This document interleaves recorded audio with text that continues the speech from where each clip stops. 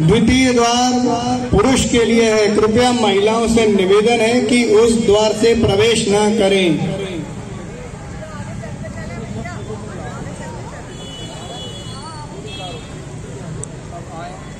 हमारे समिति के सदस्यों ने अनुरोध है कि